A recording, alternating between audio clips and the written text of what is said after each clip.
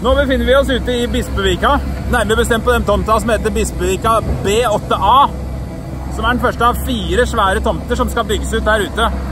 Og dette området her er det som var havneområdet i Oslo på 14-, 15-, 1600-tallet.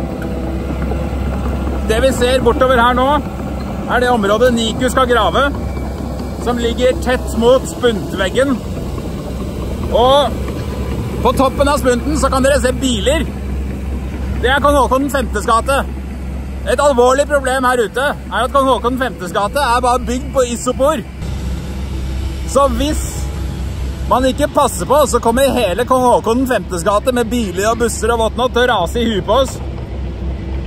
Derfor er det satt av disse gigantiske gule avstiverne bortover. Og når vi skal grave ut nå,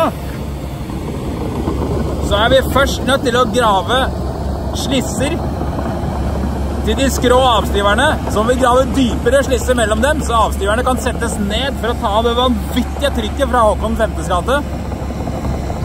Og til slutt så kan vi grave seksjonen imellom. Så dette er en arkeologisk utgravning som foregår i små slicer av gangen bortover.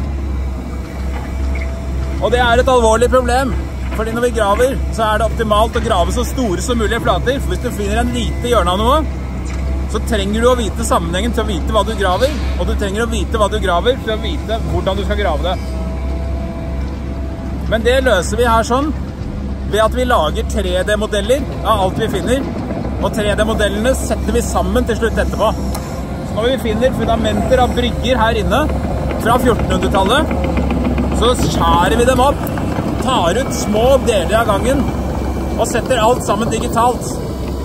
Så til slutt så skal vi kunne vise fram et bilde av det vi kan dokumentere av havna her fra 1400-tallet, og det vi kan finne av bra, av vrak, av skip som ligger langs med havnekantene.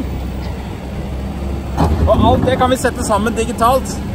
Men når vi graver dette her sånn, så tar vi ut små seksjoner av det av gangen.